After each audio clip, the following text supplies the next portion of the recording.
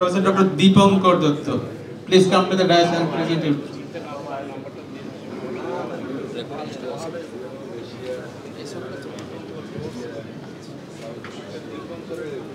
Good afternoon. Thank you very much uh, for uh, basically inviting me and, uh, প্রথমেই বলি একটু বাংলাতেই বলে দিই যে probably I am the only constant for all the workshops এই নিয়ে বোধহয় সাতবার বা আটবারই আসছে। সো যেটা প্রতিবারই বলি যে এটা originally ancestrally this is my home town actually Dhaka, Bikrampur and Faridpur, আমার বাবার দিকে আর মায়ের দিকে। So always it is actually নারীর টান যেটাকে বলে, এখান থেকে কল পেলে পরে সেটাই মনে হয়। So I am extremely happy to be here and honoured and একটা ভালোবাসার জায়গা। without much ado, I had kept my talk, basically presentation in such way. After wonderful uh, presentation by Dr. Jogesh, uh, Dr. Sandeep Bansal and uh, Dr. Srinivas Kishore, and a beautiful life surgery by Khurshid sir, I would like to basically uh, share with you the protocols and decision making for sleep apnea surgery, which surgery when, kind of, with some short videos in hyperlapse, timelapse mode because of paucity of time. So soft tissue surgery or skeletal surgery, protocols and decision making.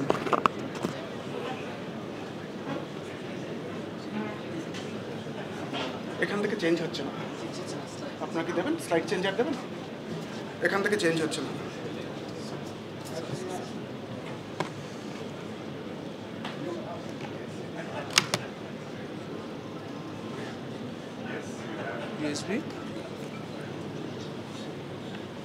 হবে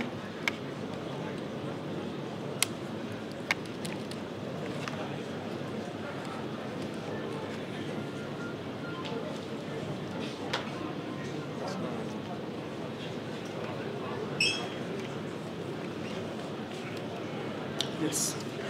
Thank you.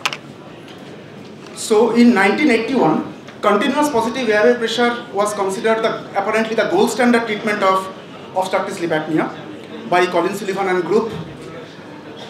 But in spite of the best possible efforts, in spite of the best possible efforts on the part of the doctors, by the sleep technicians, our patients, in spite of best possible motivation, the long-term compliance of CPAP is actually ranging from 29 to 83 percent. Just like what Dr. Srinivas has told, not only surgeries, not only our soft tissue sleep apnea surgeries, even the septoplasty, the success rate is anything between 40 to 60.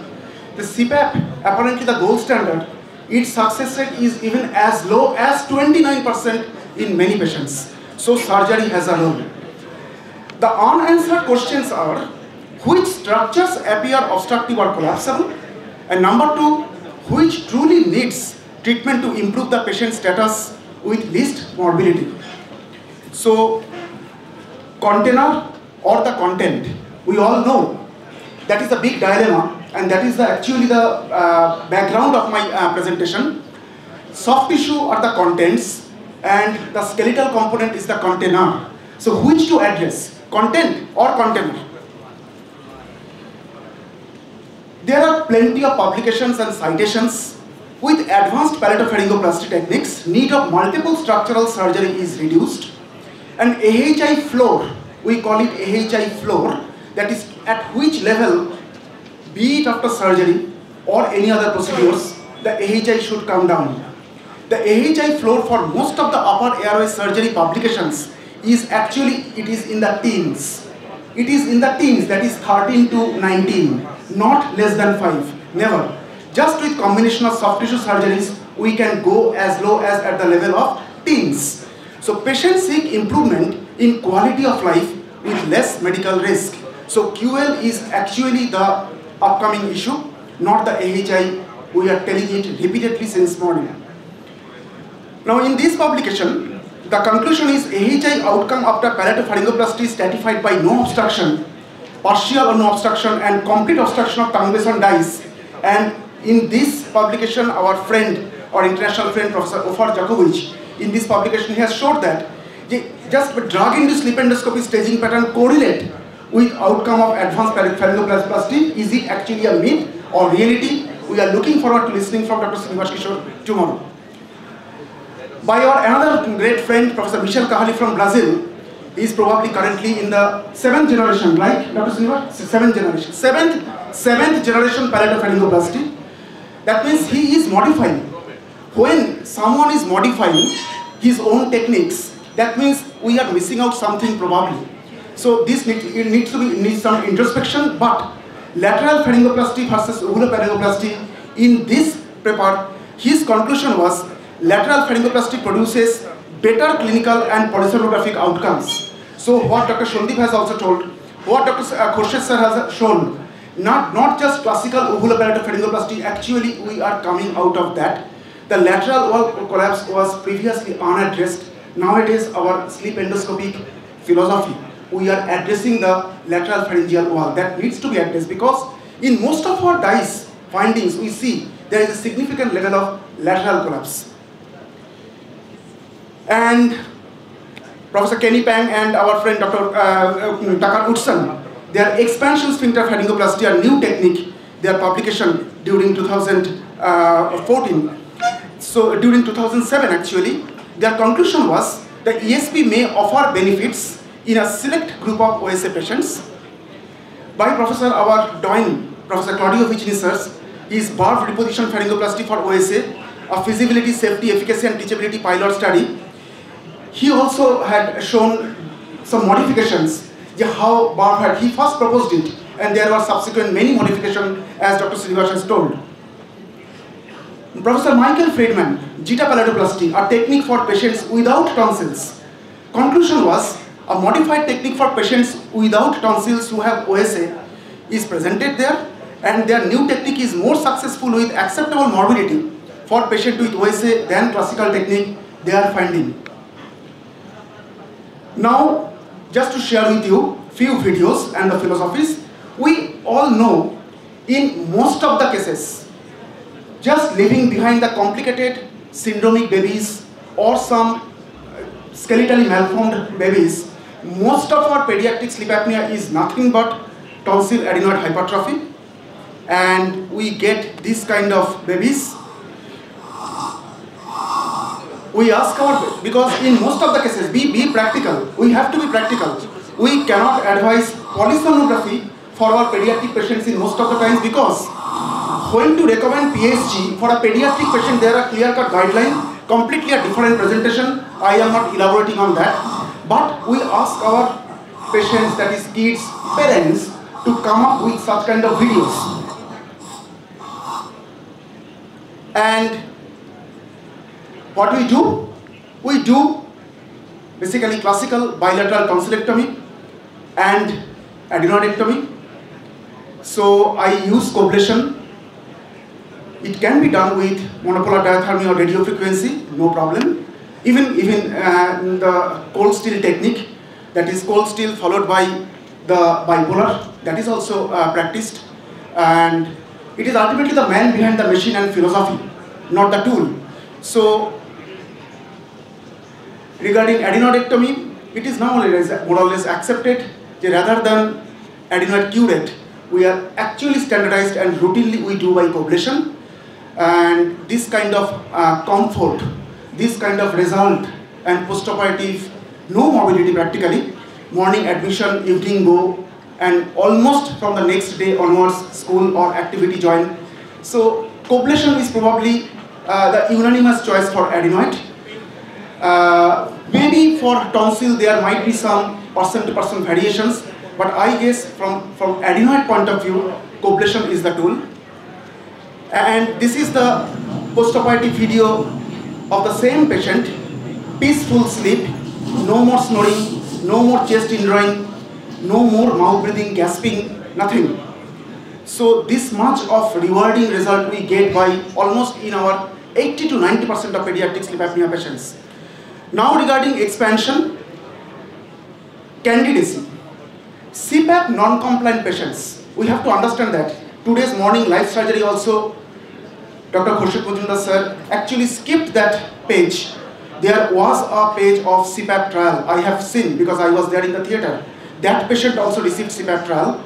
Usually from medical legal point of view, except barring a few, barring a few significant surgical structural uh, um, uh, issues, before jumping upon any kind of soft tissue sleep apnea surgery, at least have a record of CPAP trial for at least seven days. It is my, my, my suggestion, if not one month. From significant skeletal morbidity like, like uh, uh septum, tonsil, adenoid, you may not do it. But definitely you shouldn't do it. You, you, you need not to do it. But before taking the patient to the theater for any soft tissue sleep apnea surgery, keep a CPAP data and CPAP non-compliance is actually which is validated yes we can take the patient for soft tissue surgery for OSA. So the candidacy point of view, the expansion sphincter pharyngoplasty, CPAP non-compliant patients with small tonsil like tonsil size 1 and 2, BMI less than 35, Friedman clinical staging 2 and 3 and bulky thick lateral pharyngeal wall. They are candidates for expansion. And what we do, let me skip the DISE video for paucity of time.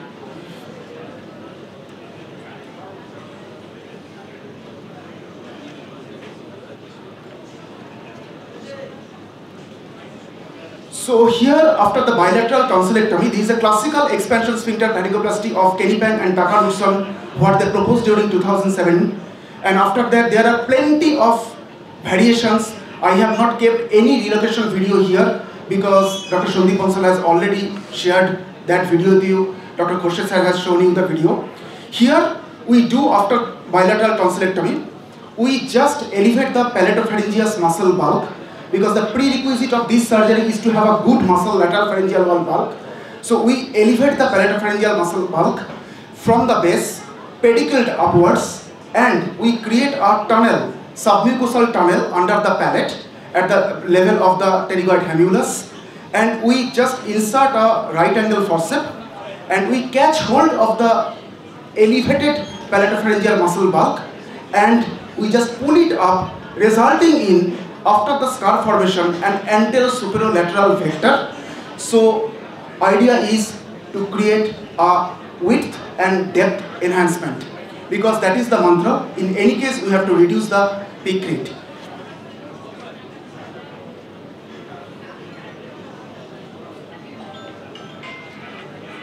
Now treatment options for failure. If ESP fails, then what? Revision lateral pharyngoplasty, with or without palatoplasty and zeta. Now barb pharyngoplasty. Again I may skip the video but the candidacy. Who are the candidates of barb? Retropalatal collapse on DISE, an excessive bulk of palate and or lateral pharyngeal wall. An absolute exclusion criteria for barb is previous palatal surgery. My message, if already some kind of palatal surgery is done by either you or any of your previous colleague, absolutely don't ever think of doing barb in this candidate. So, again, this is the hyperlapse time-lapse video because of paucity of time. This is a classical technique as proposed by Professor Claudio Vicini sir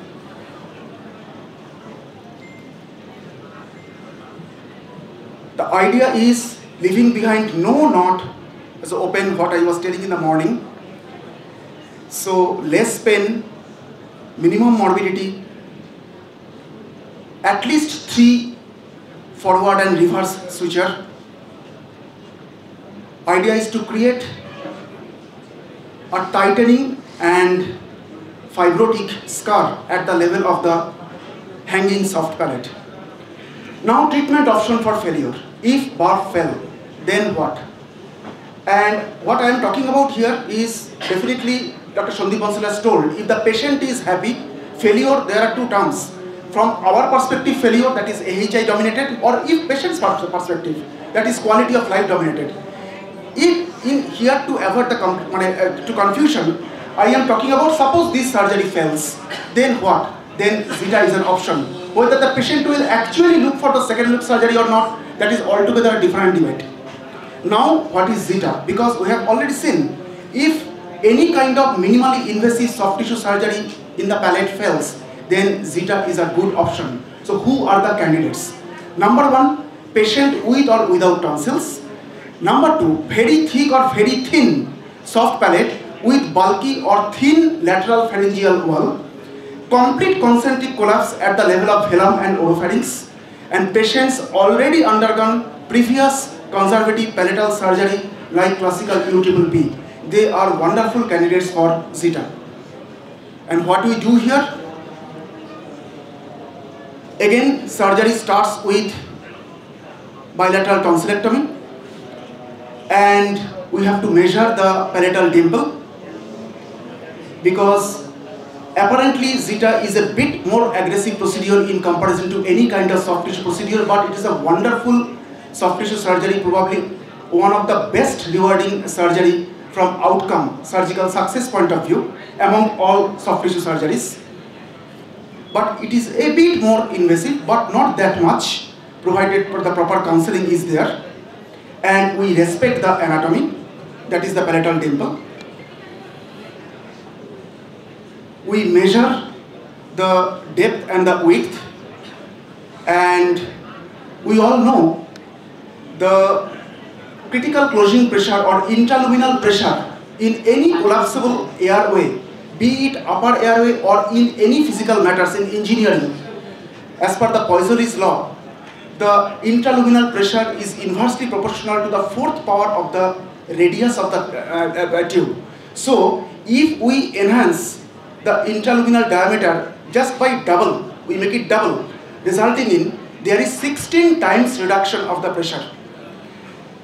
So, here we are marking it and the marking is actually the base of the uvula and the junction of the hard palate and soft palate and the midpoint of the, those two points that is we join the base of the uvula and the junction of the hard palate and soft palate this is the junction of the hard palate and soft palate and the midpoint of this line almost approximately corresponds with that of the palatal dimple which is our proximal limitation we shouldn't go proximal to it.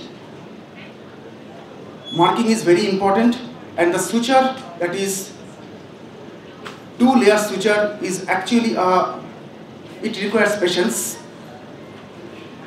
It requires patience and a very good surgical assistance because symmetrical pull from both sides is absolutely mandatory because you are holding your instrument in one hand you are holding the hemipalate, that is the uvula or palate in your another hand, and the symmetrical pull, you will show, you will see in a minute, symmetrical pull of the two hemi uvula and hemipalate, it should be symmetrical.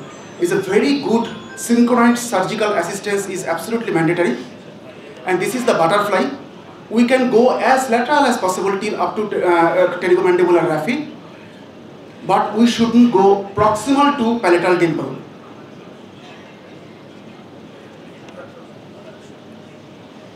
This is the typical butterfly of the soft palate in Zeta. It's a very favorite technique of mine because I get consistently good result in last 10 years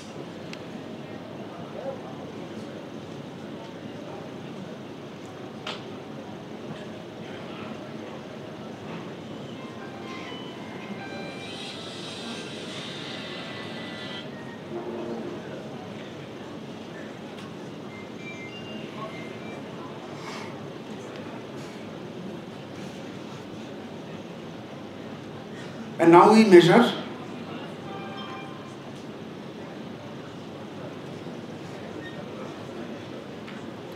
You can see the lateral dimension. Imagine the tonsils are still there. The lateral dimension is 1.5 centimeter. And the depth that is from the base of the uvula up to the posterior pharyngeal wall is just 0.5 centimeter. It is the lateral width after tonsil removal so when the tonsils were in situ, the width of the upper airway was just 1.5 centimeter and the depth is 0.5 centimeter.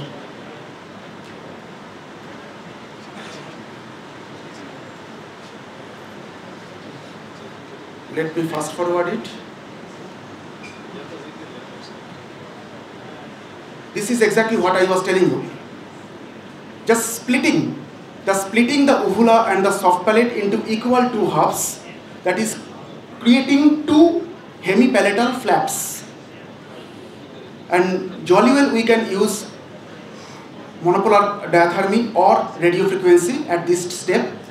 Never ever use coblation at this step because it will eat up the tissue. We don't want any volumetric reduction at this step. So use your monopolar cautery or radio frequency.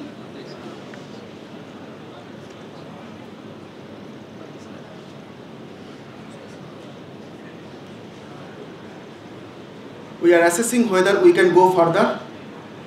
Let me fast forward it. Now at this step, we need to freshen. We need to freshen up the mucosal layer up to and the minor salivary gland layer up to the muscle level. So we need to expose the muscle and invariably usually at this point we encounter a bleeding.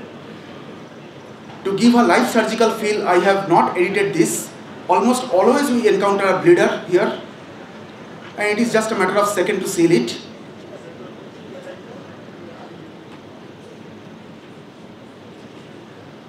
Then we can assess, we can go even more further because we have already marked the palatal dimple. It is not a very tough procedure. It is a very good procedure and I am giving the first layer that is the anchoring sutures by 30 PDS. That is my favorite suture. What I have learned from my cleft lip and cleft palate surgical colleagues. These are the anchoring first layer stitches. Then we can assess, we can trim, I even meet bit more further.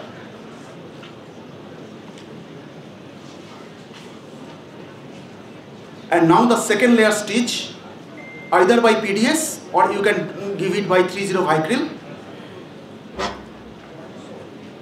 Absolutely no bare area. All the sutures are nicely placed, leaving behind no raw area totally covered. And at the end you will see this is the lateral width and the depth we had achieved. And when we will measure it is almost 3 centimeter that is double and the vertical that is the depth is 2 centimeter that is almost 4 times and when we place a 70 degree scope we can see the posterior choana, that is the posterior half of the septum. So from the oral cavity, we can see the nose. Such was the volumetric gain. Treatment option for failure. If zeta fails, then what? Repeat DISE and decision making. Transpalatal advancement pharyngoplasty, whether we had missed the hard palate lengthening or not, we need to advance that palate in that case. Hyoid suspension or genioglossus advancement and maxillomandibular advancement. Now, candidacy of MMA, I have not showing anything on dome. Dr. Uh, Srinivas Kishore has wonderfully shown that video. I will show you just selected features of maxillomandibular advancement. When there is severe lateral pharyngeal wall collapse, maxillomandibular advancement is a wonderful technique because we need to understand we advance the maxilla, maxilla and mandible by maxillary advancement or double bone advancement, double box.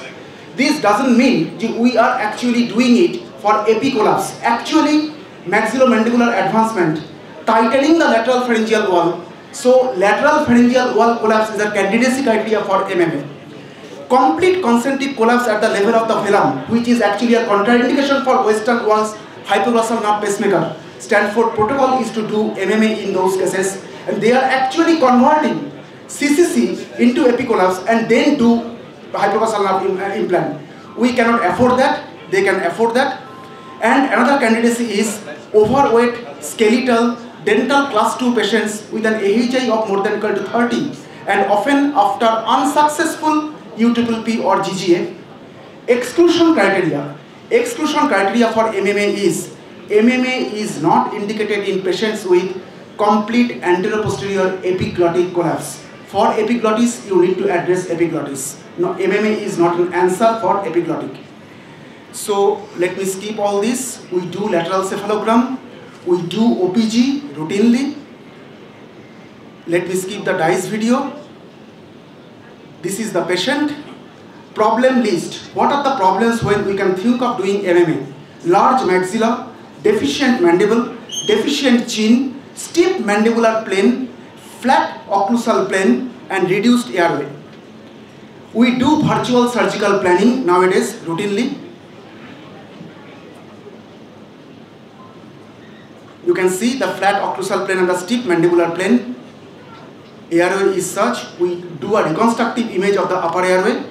What are the surgical movement we can plan before the surgery? Previously there was a making of the uh, processes and, and, and the dummy model. Nowadays VSP is the answer.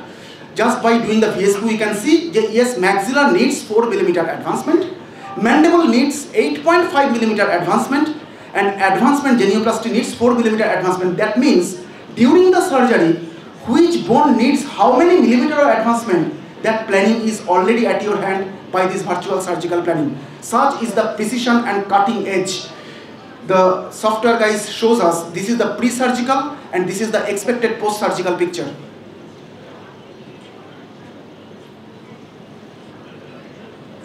So just let me show you select pictures this is the first step, patient lying supine. Then these are the two splints, intermediate splint and the final splint.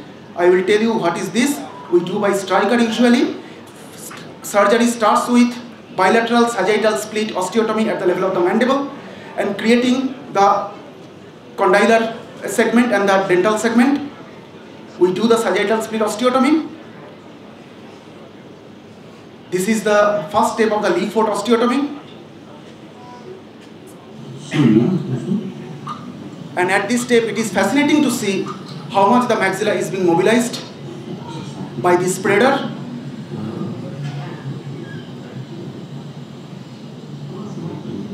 This is the first step.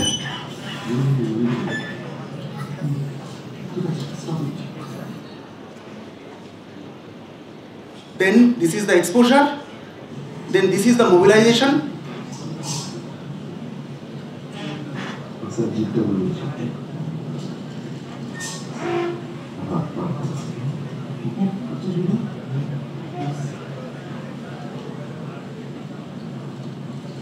Such was the mobilization.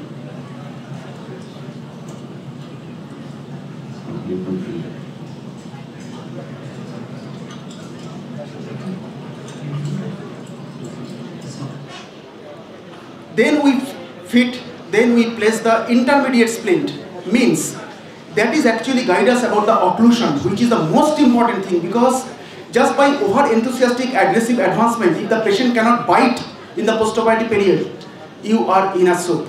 So this splint helps us exactly at which position we will fix our maxillary plates. And these are the fixations. That was the neurovascular pedicle, mandibular pedicle, mandibular nerve, extremely important to preserve it. Such was the advancement, the mandibular plates. Now this is the advancement genioplasty incision. We plate, place another fixation over there and this is the end result. Postoperative care, on-table extubation, intensive monitoring overnight in the ICU plus minus, IV antibiotic steroid analgesic, liquid diet from next day, orthodontic elastic fitting after 3 days and soft semi-liquid diet from end of first week. Complications. Injury to the descending palatine artery, paresthesia of the V3 mental region due to injury of the retraction of the stretching of the inferior alveolar nerve. Permanent paresthesia has to be avoided. Temporary paresthesia can happen. Malocclusion is a dangerous complication. And treatment options for failure. If even MMA fails, then CPAP and upper airway stimulation therapy. Even if MMA fails, then CPAP is the answer and hypoglossal pacemaker. And this is my last slide that is updated Stanford sleep surgery protocol. Just the previous protocol of phase 1, phase 2 is no more practice nowadays. Nowadays, it is updated Stanford sleep surgery protocol, the Stanley Liu group and the Robson Capasso, that group. They have shifted from the Riley original phase 1, phase 2 protocol that is soft tissue, do soft tissue. If fails, then skeletal, that protocol is no more validated. Nowadays, if a particular patient surgical candidacy criteria matches with MMA as a first option, they do MMA as a first option. So, whether soft tissue or skeletal, there should not be any debate. As per the candidacy and as per the patient's requirement, we need a holistic approach. We shouldn't keep any dogma or thought block. Whatever the patient needs, if soft tissue, then soft tissue. If a particular patient needs skeletal as a first option, we need to do skeletal as a first option, be it DOME, be it maxillary advancement, be it any kind of rapid maxillary expansion, whatever. So conclusion, recognizing that multiple levels of airway obstruction existing OSA is essential to achieve an improvement, must treat all levels of obstruction in an organized and safe manner, and reconstructive surgery rather than destructive surgery is the current concept, just like we have come out of Caldwell-Luc and doing FESS nowadays. Thank you very much. Thank you, Dr. Any question? Hello. Uh,